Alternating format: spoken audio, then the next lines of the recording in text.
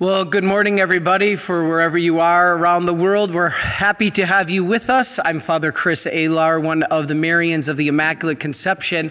We're live here with a full shrine at the National Shrine of Divine Mercy for the critically important devotion of First Saturdays. One that I have said from the beginning is along with Divine Mercy, uh, along with the Sacred Heart, along with the Immaculate Heart and precious blood. The Immaculate Heart is the first Saturday devotion. So today, stay with us because we're going to lead you to everything you need to know. And we're going to begin today, as Brother Mark showed on the slide, with two important, and if we could silence our cell phones, please. Thank you. We're going to start with two important Marian apparitions one you've never heard of, and one everybody's heard of. So let us begin with a prayer in the name of the Father, and of the Son, and of the Holy Spirit. Amen. Heavenly Father, we ask to give you all glory and praise, and most of all through the honor of your gift of Mother Mary. And let us listen to the message of heaven as you have given to us through her. And we ask all this through Christ our Lord. Amen.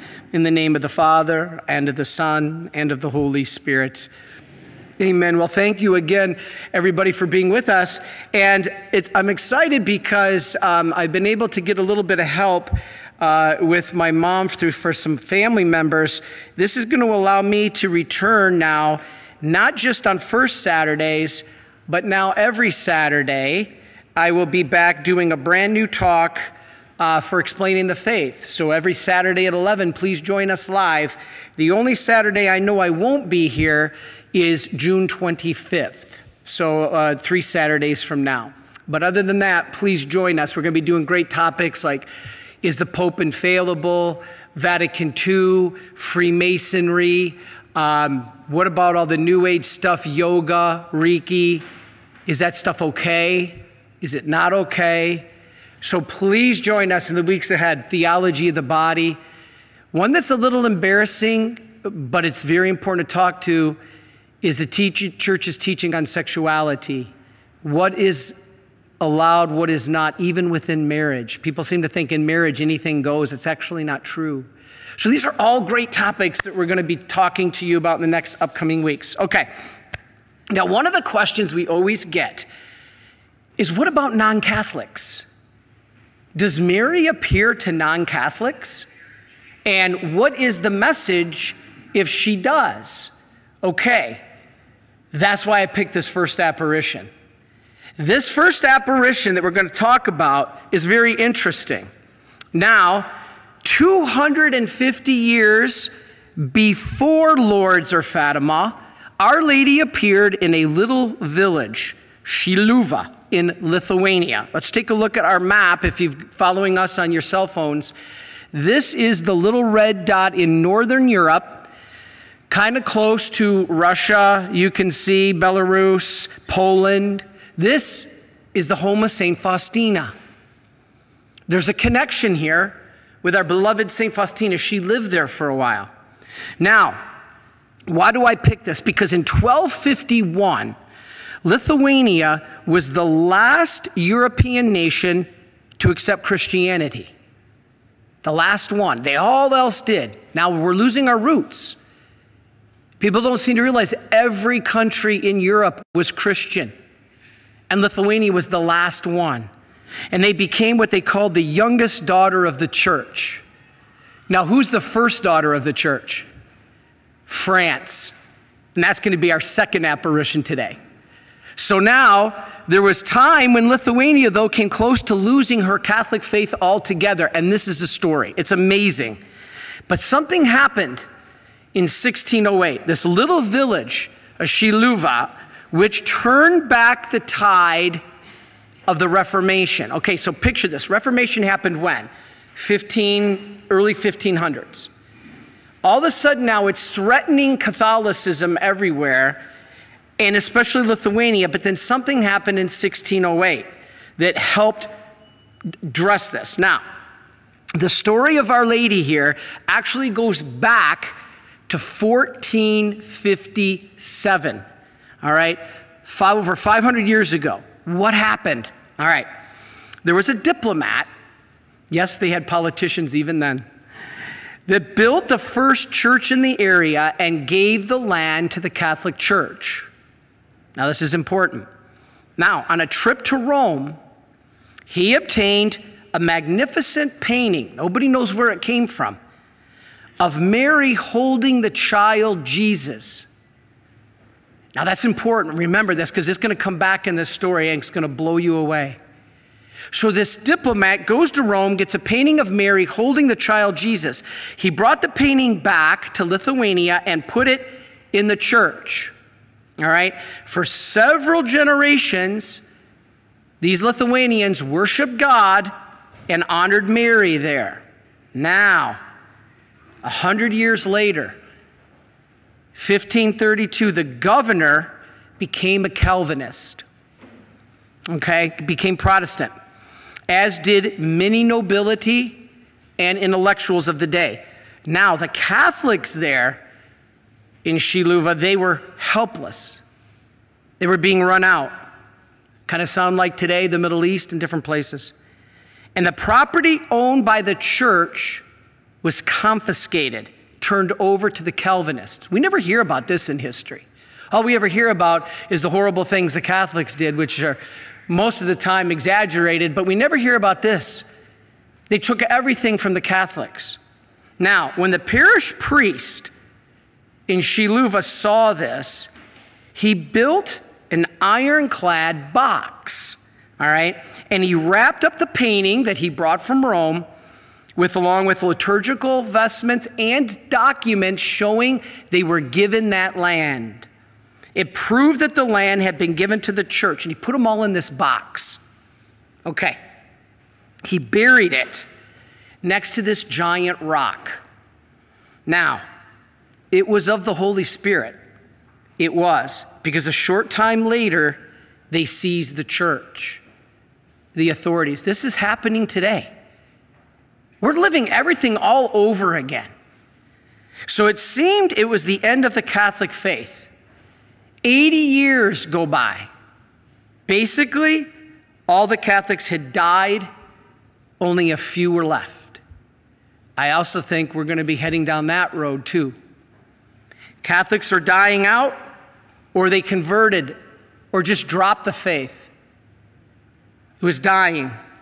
Suddenly, God miraculously intervened. What did he do? As many times, he sends his mother. The apparition of Mary. This apparition was proven as an actual event by history and authenticated as being church approved by papal decree by Pius VI, and then later in uh, the next century. But anyway, the most remarkable feature is that this all happened to non Catholics. So, does Mary approve, uh, appear to non Catholics? Listen, in this summer day in 1608, a number of children were tending their sheep in the field. This was outside of the village of Shiluva in Lithuania. They were playing near a large rock. Take a guess what large rock? Suddenly, each of the children became transfixed, staring in the direction of the rock. This is documented. Now, they remained in silence. They couldn't even speak. But what you could hear was a sobbing, loud noise.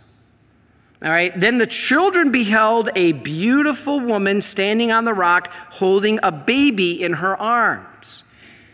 Now she was weeping, but she did not speak. And she looked at them sadly, sadly. And so many tears were pouring down her eyes that they fell onto this rock. Now, this is important. The woman they described was dressed in a beautiful robe, unlike anything they had ever seen, and some light surrounded her. Now, the children were so startled that they couldn't speak. They just stood there and they stared. Now, how often do you find that with kids, right? Kids are never speechless. So, this had to be something miraculous. Now, amazement, though, turned to fright when this woman and her baby disappeared. Okay, picture this scene now. And they all the children then began to talk. Okay, so here they are. They're transfixed, they can't speak, they're dumbfounded. They see a woman, she disappears. Now they start talking. They're full of joy. And one of the boys ran to the village and told the Calvinist pastor. Okay? Now, he was told to stop making up such a tale by this Protestant pastor. Now, news spread quickly the next day, and the townspeople came to this rock. Some were scoffing, but others were impressed because these children were crying, crying with joy, telling the story. Now, here's what's interesting whether they talked to the children separately or together, their story was exactly the same. That doesn't happen with kids, right? Their stories change all the time. When I tried to explain what happened to the cookies, my story to my mom changed five times. And then my story was different from my sister's story. Okay? Now, the Calvinist pastor became alarmed. He told his people, stop being so gullible right? Stop being so gullible. And he was worried about this superstition. Now, here's what's interesting is he warned them that this was the work of Satan. How many times have you heard that? How many times have we heard from non-Catholics that any word uttered from the mouth of Mary is from Satan? It's unbelievable. He wants to lead you away, they say to us. They tell us, God bless you, Rose. You're free to come back. God bless you. God bless you. So, Satan's trying to lead you away. No, no. Then, all of a sudden, this Calvinist pastor hears sobbing. And all eyes, now there's adults there, turn to the rock and there, standing in the mist, now visible to the adults, was a weeping lady with baby in her arms. The people stood in amazement, and now the pastor, this Calvinist, was in amazement. Couldn't do anything but stare, just like with the kids. So the pastor acknowledged it finally, and he was able to speak. And he said, Who are you? Why are you weeping? So she identifies herself as Mary. And he says, Why are you weeping? And she says, There was a time when my beloved son was worshiped by my people on this very spot. Now it has been taken. Now they have given this sacred soil over to the plowman and the tiller and for animals for grazing, and the land has been taken from our church. Now, without another word, she vanished. Now, the fact that the mother of God, Mary, appeared to chide them for their neglect of not being a Catholic church anymore spread among the people. Basically, Mary was telling them, correcting them. Now, most of them listened and began to return to the Catholic faith. They said this has to be a message from God. So deep was this that just a few years later, more than 11,000 people showed up for one Mass there.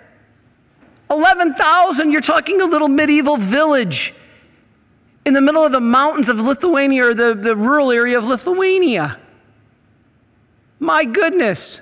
The only place we can get 11,000 people to in the United States, we got 300 million people, is a ball game you know? Um, so, anyway, a miracle then was basically this that there had been no church, no priest, and no mass for almost 80 years. Yet now the people were coming back. So the bishop appointed a team to investigate this, and in many apparitions, they looked for commonalities. And guess what most apparitions have? A picture or a statue associated with the event.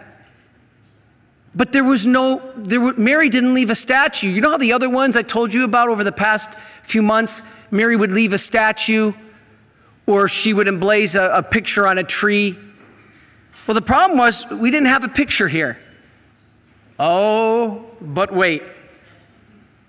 A blind man who was over a 100 years old heard about this. He lived nearby and he recalled over 80 years earlier when he was a boy, he helped Father Holubka bury a chest with church treasures beside a big rock.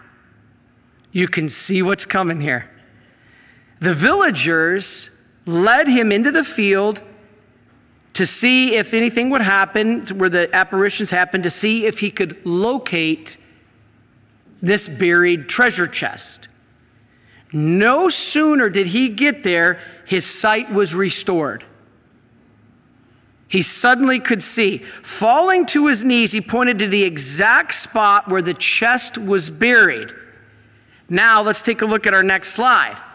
If you're following us, that chest was dug out of the ground, and inside it, perfectly preserved, was a painting of Mary holding her child. This was the vision the children saw, and it was buried in an image for 80 years. I mean, this is incredible. No other faith has this kind of rich history but our Catholic faith. It's all dismissed as pagan and, and idolatry. Images are not idolatry. If you're interested, I have talks all over YouTube about Deuteronomy does not forbid images. Graven images are for the purpose of worship. That's what's forbidden. Otherwise, Jesus, uh, God commanded uh, uh, cherubim to be carved on the Ark of the Covenant. He, he commanded uh, Moses to carve a bronze serpent and put it on a pole. Images are not forbidden. It's worshiping the images that's forbidden. Nobody worshiped this image of Mary. But what's miraculous is it was what the children saw. So they pull this box, and this painting was inside, along with the same vestments and the deed that proved the church was given, or the land was given to the Catholic Church. I mean, you can't write this. So let's look at our next slide. The painting was enshrined permanently in the basilica and I had the pleasure of being there. This is incredible. The painting was put in there, and they venerated to this day this image, Our Lady of Shiluva. Let's watch a one minute video that summarizes everything I just said. And you can listen to it here because we'll be off the air. So, Brother Mark's going to show the video. It's only one minute long. Welcome to Shiluva. Shiluva is the sanctuary of one of the first apparitions of the Blessed Virgin Mary in Europe. It took place in 1608, and it is officially acknowledged by the Catholic Church. Shiluva is located in the northern eastern part of Europe, in Lithuania, and it was an object of attraction for people from 41 different countries in the year 2018. The most important objects in Shiluva are the Baroque Basilica, where the miraculous picture of the Blessed Virgin Mary with the Divine Child is being held. The picture was solemnly canonized in 1786. The Chapel of Apparition, with the miraculous stone rebuilt in 1924. The Chapel of the Sick. The Way of the Cross around Shiluva. The stops of Rosary in the main square and the 20 kilometer section of the road from Raseiniai to Shiluva has monuments of crosses and chapels created by artists. The 13th day of every month is Mary's Day. The last Friday of every month is the Day of the Sick. Every Friday, the Way of the Cross around Shiluva. Every other day, the Chaplet of the Divine Mercy Saint Pope John Paul II visited Shiluva in the year 1993.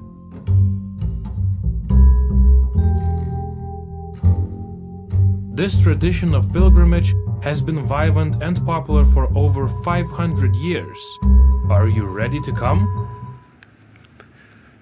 Okay, so an incredible story, an incredible place. And so, um, if you ever get a chance to get to Europe, this is a must see. Just the devotion of the people. In fact, many miracles over the years have been reported from there. So many people come, they had to build larger churches in this area to accommodate all the pilgrims. So, devotion to Our Lady of Shiluva is growing, has grown. Um, then, of course, World War II, there was some loss of freedom, but now that's been restored. Even in this Western world of decay of our morals, it, it has been described. Now, this is shocking to me. The church has described, this is coming from high up in the church, Our Lady of Shiluva as probably the most powerful intercessor before God. I had never heard that before. That's incredible. The apparition, you've never heard of. Okay, so let's finish with one everybody has heard of. Let's go to our next slide. This is Rue de Bac, which is the name of the road in Paris, but you may know it more as the miraculous medal. The miraculous medal. This goes back to 1830. Now, the story here, real quick, I only got a few minutes to finish, but on November 28th, and that's the birthday of my lifelong best friend Nick Rafko, was killed in a auto accident. So this reminds me, you know, God gives you little sparks to always pray for people when you see things like dates of their birthdays or the date they died. Nick Rafko was my ultimate best friend, the brother I never had. His sister was Miss America um, our babysitter. How many guys can say they were babysat by Miss America? and and um, he was the linebacker on the University of Wisconsin football team and played in the Rose Bowl. And was engaged to his high school sweetheart, had his whole life in front of him, and was killed in a car wreck. His birthday is November 28th, so that's why it's near and dear to my heart. But let's look at our next slide. St. Catherine Labouré. You've probably heard of her. If you can see it on the screen, don't you love her habit? Look at the wing on her head, this giant habit, right? I don't know how you function getting through doorways with, with such a large head uh, ornament. It's, it's beautiful. Well, anyway, on November 28th, the church honors St. Catherine Labouré. She was a daughter of charity. That was her, her religious order when Mary appeared, Mary appeared to her requesting that the miraculous medal be made, and all who would wear it would receive great graces. Now, this story is amazing. I'm going to tell you something you probably didn't know, even though everybody has heard of the miraculous medal. So stay with us. Now, St. Catherine Labouré was born in France in 1806. Horrible time in France the French Revolution, uh, Napoleonic Wars. It just, it was a mess. She was the ninth of 11 children, good Catholic families, right? And upon her mother's death at only eight years old, she took over the responsibilities of the household. Are you kidding me? Now we have people 28 years old that still don't take over responsibilities. God bless her. So eventually she became a daughter of charity, as I said, and when she was just a novice at age 24, the Virgin Mary appeared to her for the first time. Now, this gets amazing. Let's look at our next slide. Later, Mary appeared to her again, requesting that she have a medal made, portraying our mother, Mary. Now, it took two years before Catherine was able to convince her spiritual director to have this medal created, but eventually he listened. They made 2,000 medals. Now, they went so fast, people took them so quickly that it was called a miracle in itself. Now, after these visions ceased, St. Catherine Labouré spent the rest of her life in humble service, guess what? As a portress, just like St. Faustina. What's a portress? It's the most humble job in the monastery or the convent. You're not allowed to do anything but open the door. It's really humbling. And that's what Sister Faustina did. All right? She worked with the sick in a convent, then later in Paris. Now, she spent time in silence. She never told her superior that she was the one that Mary appeared to and gave the medal. Now the medal's becoming wide known, and she never, in her humility, said anything for 45 years. Now, she died in Paris on New Year's Eve, 1876, canonized in the 1900s, 1947 by Pius XII. Now, here's a picture. She's incorrupt. Here's a picture of her incorrupt body that's lying in the crypt of her convent. That's St. Catherine Labouré. I've done a whole talk on incorruptibles that you can see online. Now, the specific apparition occurred on November 27th, the day before her feast day, 1830. Now, listen to this. Like the scapular, y'all have your brown scapulars? Okay? Wearing your brown scapulars? Like the brown scapular, the miraculous medal is a sacramental, which means it's a symbol of our faith. Now, what's, here's what's fascinating. This is only one of three sacramentals officially approved by the church liturgically for public prayer. We have all kinds of sacramentals, and they're good. There's only three. You know what they are?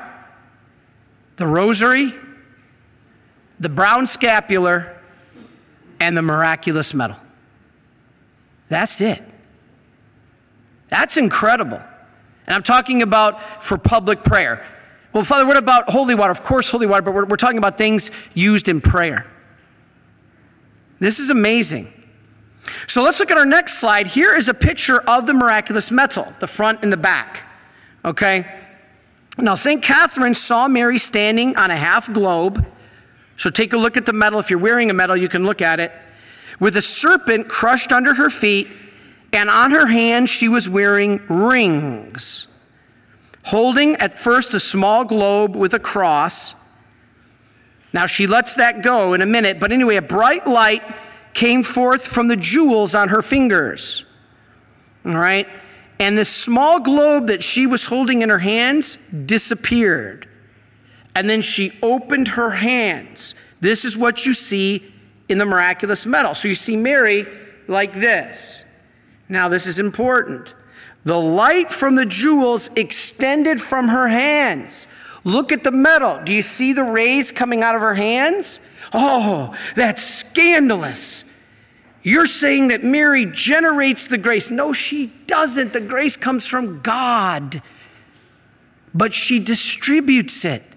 Just like she's the neck, Jesus is the head, Mary's the neck. The grace of God goes through the neck, through Mary to the body, us.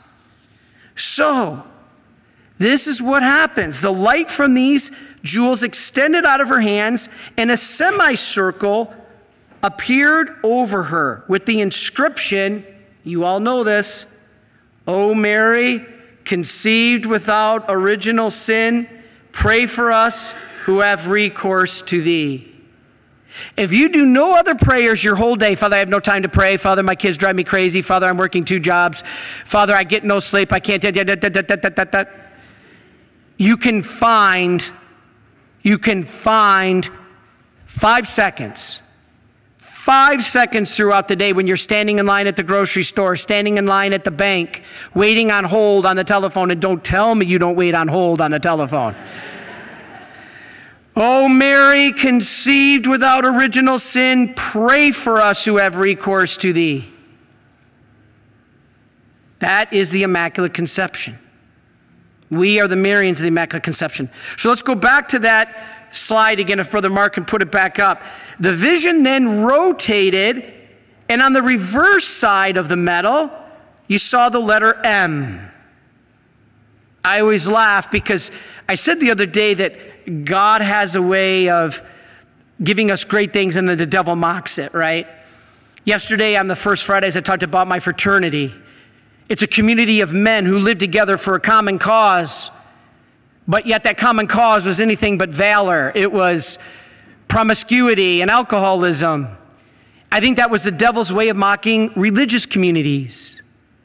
And I said, please, if your fraternity is good and, and you stay on the right path, I, am sorry, I'm not meaning all religious communities. I'm talking about my old one. I also pointed out the beads at Mardi Gras. Yeah, they were created for something fine, but they're used, they're misused now by ladies exposing themselves. I believe those beads mock the rosary. And so I look at my office and I got all these big M's. And I'm like, uh, does that mean Michigan, Father, or does that mean Mary? and so we have to realize that there's deeper symbols in these beautiful things. and what we have in the miraculous medal is an M.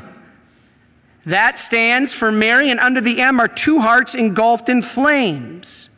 One circled in thorns, that's Jesus, Sacred Heart, and the other pierced by a sword. That's Mary's Immaculate Heart. Hence, yesterday, the Sacred Heart of Jesus, today, the Immaculate Heart of Mary.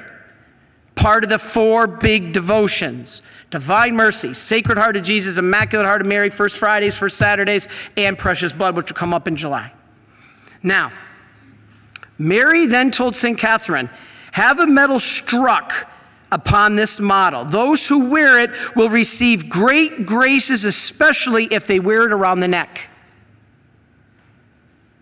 Those who wear this medal will get great graces, especially those who wear it around the neck.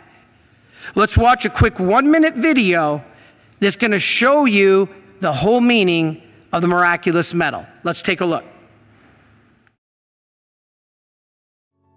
Almost 200 years ago, in the very heart of France, a novice of the Daughters of Charity called Saint Catherine Labouré had a vision. Virgin Mary herself asked her to struck a very special medal, known today as the Miraculous Medal. And today we're going to learn the true meaning of the Miraculous Medal and why it is so important to wear it. The story of the Miraculous Medal begins the night of the 27th of November 1830 when St. Catherine Labouré attended a two hours apparition of the Holy Virgin, where the drawing of the miraculous medal came to light in two phases. In the first phase, the Virgin appears to St. Catherine standing upon a globe and crushing the snake. During the apparition, the Virgin Mary emanates two beams of light. In the second phase, Virgin Mary lowers her hands while a halo around her head creates a sentence. O Mary, conceived without sin, pray for us who have recourse to thee. At this point, the image of the Virgin Mary disappears, leaving space to a very bright M with on top a cross and the holy hearts of Jesus and Mary on the bottom. While 12 shining stars, which correspond to the 12 apostles of the church, form the holy crown of the Virgin. This part will be the back of the miraculous medal. Also, Our Lady of Grace herself has promised great graces to those who wear it with faith. Okay, so awesome, everybody. If you're here at our shrine and you didn't get a chance to see this on your phone, it will be on our YouTube channel, Divine Mercy, or our Facebook page, Divine Mercy Official. Okay, now to finish, Mary explained the meaning of this medal. And here it is. She identified herself as Queen of Heaven and Earth. This makes sense. How dare you Catholics call her Queen of Heaven? Yes, it makes sense. Jesus comes from the line of the King of David, the Davidic kingdom. And in the Davidic kingdom, who was the queen? Queen was not the wife of the king. They had hundreds of wives. The queen was the mother. So if Jesus comes from the line of David and fulfills the Davidic kingdom, it makes sense he's the king. And in this line, who was the queen? The king's mother. So it makes sense Mary is the queen. Now, on it, she crushes Satan, who is helpless before her. This goes to Genesis 3:15. You will crush his head. Her arms are open, and the rays of light are graces that she obtains for those who ask. Notice, those who ask.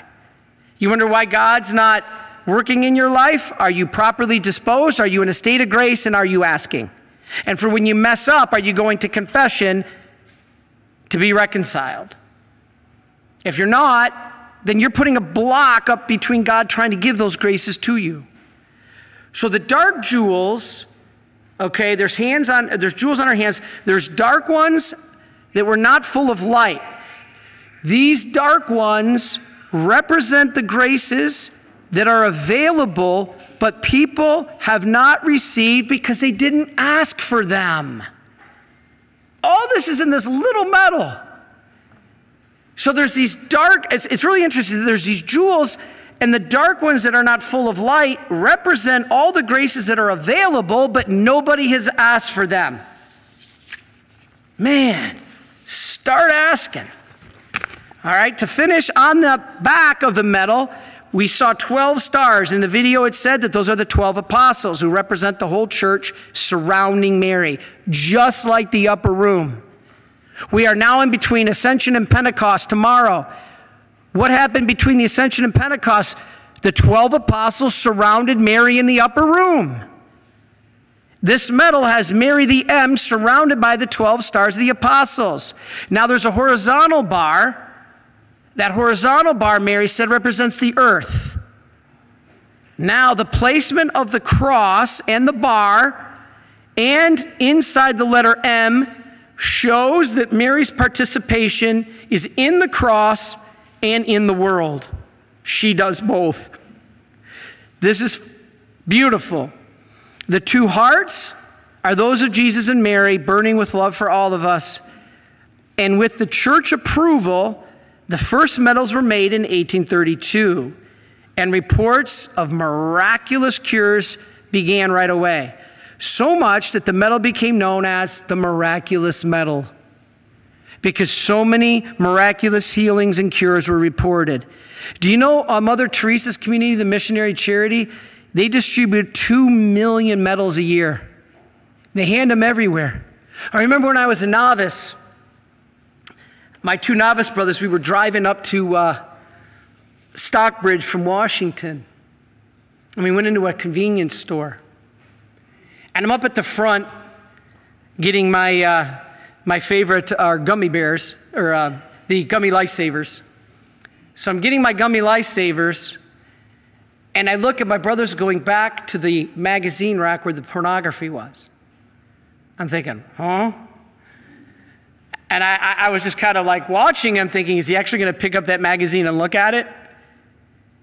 And all of a sudden, he pulls a miraculous medal out of his pocket and lays it. They had the high shelves, so nobody could see it. He put it down in the shelf where the magazines were. I was like, wow, what a great idea. What a great idea. So the missionaries at Charity, they spread these things everywhere. You can put them on seats at airports. You can leave them on the bus, leave them in the Uber. You can do this. This is how you can evangelize. People see it and they're like, what is this? It's really powerful. It received liturgical approbation, meaning approved for public prayer in 1895. As I said before, it's only one of three sacramentals in the church to be liturgically honored, sharing the distinction, as I said, with the rosary and the brown scapular.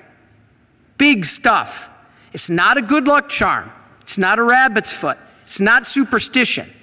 It can bring conversion. We also have in our EWTN show the story of Zachary King, a former Satanist and high wizard. You know what brought about his conversion? He was a Satanist. He was a high wizard in the Church of Satan. And he was working at the mall, dressed up in all this tattoos and piercings. And this woman goes up to him at the mall. He had nothing to do with God, he was actually on the other side. And this woman comes up to him at the mall and says, Can I talk to you for a minute? He's like, Yes. And she says, Would you take a look at this? He didn't know what it was. He put his hand out, and this lady laid a miraculous medal in his hand. He said he felt a voltage go through his whole body. And all of a sudden, it all went black. He lost the complete vision of them all. Everybody disappeared, and he saw the Blessed Mother. If you haven't seen this story, it's on our YouTube channel as well under Living Divine Mercy. It was under Halloween of last year. And so our Halloween episode of last year has his story. And he converted instantly. Now he goes around the world talking about the miraculous medal and the Blessed Mother. How his whole conversion was brought about by that single medal. Now we're not worshiping the medal. We're not idolaters. This is not it. We're not even worshiping Mary. Mary takes us to Jesus. And that was what her message was to Zachary King that I want to lead you to my son. What is wrong with that? Nothing. It's our salvation. All right, so let's go to our next slide. One of the most famous conversions was Alphonse Ratisbonne. He was a Jewish atheist. Here's his picture. In 1842, he despised the church when his brother became a priest. And then, on a dare from a Catholic friend, a baron of all people, he began to wear the miraculous medal and to recite the memorare just to prove that it was useless. He did that just to prove it was useless. One night, he was with his friend Baron in Rome. The Baron, that was a title because it was Baron de Boussier. And they, he went, this Baron went into the church. So Ratisbonne, he followed him, just eh, and they separated. And a few minutes later, the Baron found him weeping and kissing the medal that he was wearing in mockery. And all he could yell was, I saw her, I saw her.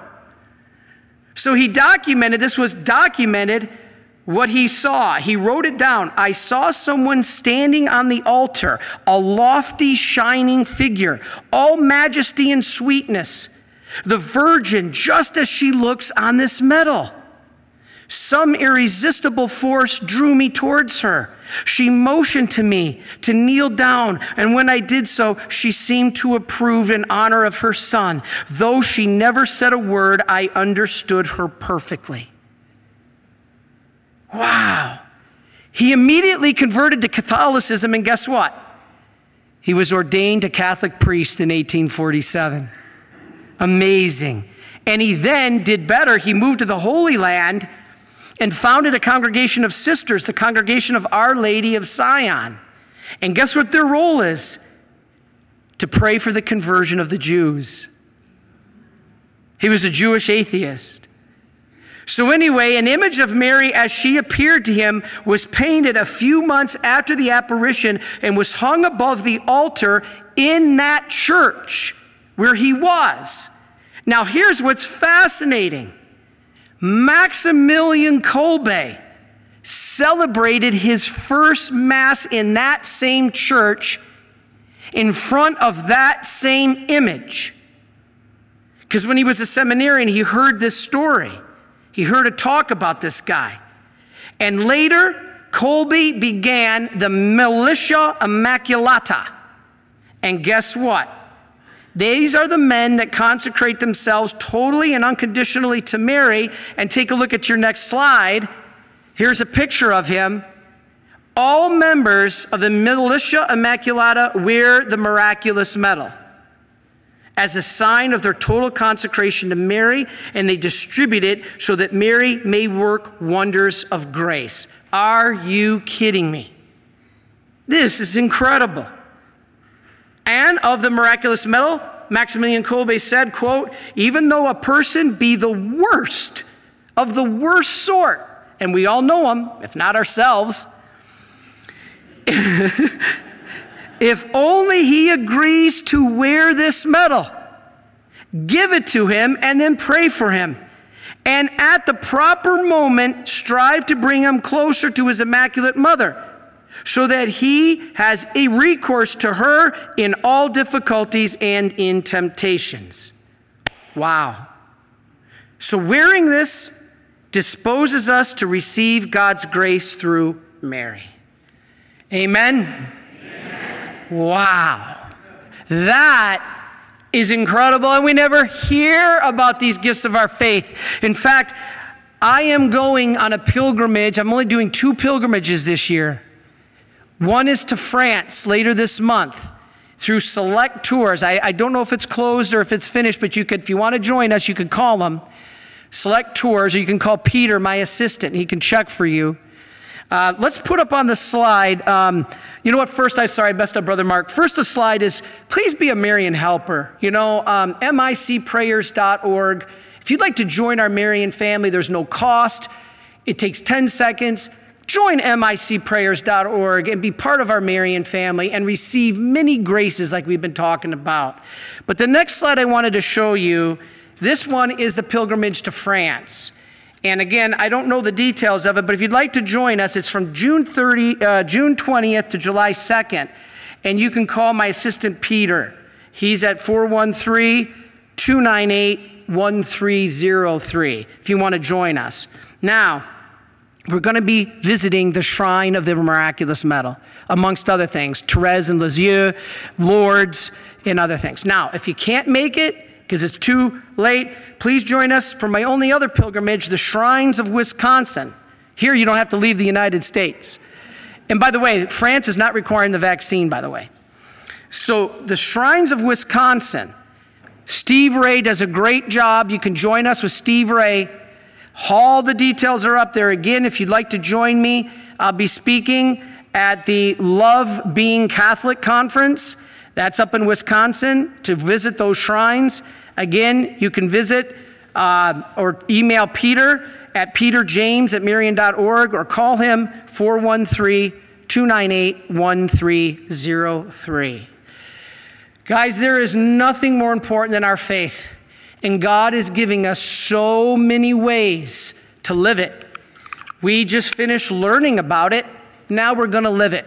So, for a few minutes, Brother Mark is going to shut down this current live stream. Please don't go away because in a few minutes we'll come back up and we'll do the devotion of the first Saturdays. If you're here with us in person, please stay with us. Only about five minutes.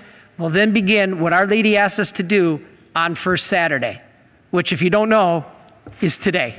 God bless you.